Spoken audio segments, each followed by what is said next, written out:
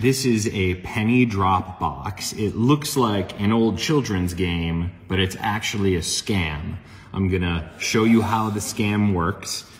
The box is almost like a piggy bank, and sometimes pennies can go in the piggy bank if you put them in the number six drawer. But if you put them in the one, two, three, four, five drawers, just kind of hang out there. Only the six goes into the bank. There's only one slot in this.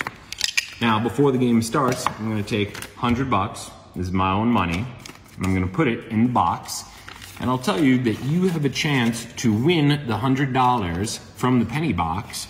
All you have to do is beat me in the game, and the game only costs $5 to play. Do you wanna play? Yeah? Great. Here's how it works. We each have 10 pennies and we have a dice. You roll the dice, I'll go first. And if you get a six, you put the penny in the bank. Now you take a roll. All right, you got a three, so put your penny in the three slot. Okay. Now, we'll see what I get. I get a six, right? I get a one. Let's say I got a one this time. Mm-hmm. Now, I would put my penny in the one slot. Now, you roll, and if you get a one or a three, that's not gonna be good. You got a one. Uh-huh. That means you actually have to take the penny out from the one slot and the rest of the pennies in there. Okay. All right, so that, that's how you play the game. You ready to play now? Yeah. All right, so we each start out with 10 coins, one, two, three, four, five. Mm-hmm. So now we've each got 10, and this should look like a fair game, but if you watch carefully, you might notice something sneaky going on. Do you wanna go first or second? First. Okay, go for it. Okay. So you take a roll, you get a two, put your penny in the two slot. Okay. All right, and I got a six, so mine goes in the six slot. Go for yours. Okay. All right, you got a four. All right, I got another six, so this goes here, up to you. Okay. All right, you got a six. Six. Good. Yep, so that's gonna go away. I got a five, so mine goes in the five. Okay. You got a three, so yours goes in the three. Let's see. I got a six, so mine goes in there. Up to you now. You got a oh. four. Now that's no good, so you're gonna have to Oh, take man. out all of those. Okay, Yeah, so and that goes yours. go the pile. first one to lose their pennies is the winner. Okay. Right? So now, let's see. I got a five. Okay. You go. One. Now I've got a one, so I lose these, right? These come back to me. Now it's up to you. Five. It seems like a fair game at this point, but there is, I got a four. There is something sneaky going on, Okay. which will mean that you will lose almost all the time. I got a two, even though it seems like a fair game. That's a five, Oh, right, so you're so gonna have to take take all all- those. Yeah, that's no good. Yeah. So now it's my turn. I got a 2 Mm-hmm. Your turn. Yep.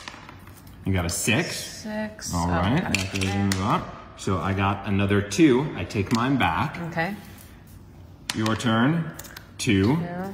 All right. I got a six. Your turn. You got a five. Okay. All right. And now for me, it's a three. Let's see. You're up. You got a one. Okay. Very exciting. Let's see. I got a one. So now I have to take all these. Hmm. Right? It seems like it's pretty even, but we have fewer pennies and fewer pennies mm-hmm. as we put the pennies in the box. Now it's your turn. Okay. All right. You got a five. That's good. And then I got a three. Okay. Your turn. A four. Okay. All right, I've got a five, so now I'm gonna take all of these. Okay. Your turn. It's a two. Two. Now look, you're in the lead. You've only Yeah. got four. I've got more than twice as many. It seems mm-hmm. like you're gonna win this. I've got a three here. Okay. All right, now it's to you. A two, so you oh, take those. yeah. That's no good. Okay. And now for me, it's a five. There's a four. Yep, here's a two. There's a five, so you take those. Now, I think at this point, you'll notice the game might change. That's a six for me. Might change trends a little bit. Let's see. You got a five. I got a 4 mm-hmm. Five, so you uh, take those. okay. Yeah, before you were winning, it was four to eight. Now I've only got the the four, so now it's a four for me. Okay. A three for you. Yep. Yep, let's see. I got a six over there. Okay. Okay, the six goes in there. You got a five. All right, looking good. That's a two. Now it's your roll. Let's see. Okay. No, you didn't want a five, because a oh. five, you gotta take all those back. Yeah. And this means on my next turn, I'm gonna win, because no matter what I roll a four, I'm out of pennies. Dang. So I'm out of pennies, and this is bad. You have one, two, three, four, five, six, seven, eight, nine, ten, eleven. You have way more than you started with. So here's how this game works. It looks like a fair game, but it is a scam. The scam is not in the box. Uh, the box is totally normal. Also, if you were playing this game with all normal equipment, then it would be a completely even game. But I did have something sneaky going on. There's one number in this game that's different from all the rest of the numbers. Uh, one, two, three, four, five, those are the same, but a six is different because you can roll a six however many times you want, and that will never hurt you in the game. Sometimes if you roll a one, that means that you'll have to take the coins if there's already a coin in the one slot. Same for two, three, four, five, but the six you can roll as many times as you want. That ties in not to the pennies, but to the dice I'm using to play the game. You can see it has all different sides. There's a one, two, three, four, five, six on the dice, but it's not a normal dice. This dice is what's called a floater. If we were to put it in water, it would float to the top of the water, and the side that you would see floating upright is the six. It's weighted on the bottom, but there's a gap in the top.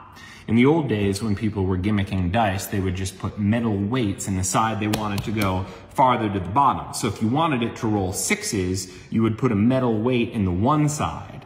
But then, when people learned about weighted dice, if you wanted to catch a cheater, you would just take his dice and throw it in the fire, and then if you saw metal bits left over, you would know he was cheating. So that's why they made these floater dice. You can throw them in the fire, and there will be no evidence that they are sneaky after you do it. Now the floater dice, as you saw in the game, it does not roll six every time, and you would not want it to roll a six every time because that would make it too obvious that you were cheating. So instead, it will roll a six just slightly more than one out of six times. But that's all you need to win this game. So let's see, this is the floater dice. Let's see what happens when I roll it six times. If it was a regular dice, you'd expect one of the six rolls to get a six. Let's see, there's a four, there's a six, there's a two, there's another six, there's another two, and there's a four. So it came up six, two out of six times. And if we roll it again and again, you'll see that six will come up, there it is, a little more than it should. There was two sixes in a row. So all you have to do is play this game, the penny drop game, game with a six floating dice, and then you can put a hundred bucks of your own money in there. You can put however much in, because with a weighted dice or a floater dice, it is so unlikely that the other person is going to beat you.